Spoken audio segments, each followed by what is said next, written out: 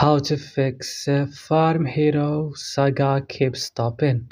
What's up guys, I will give you the solution for this problem, let's do it.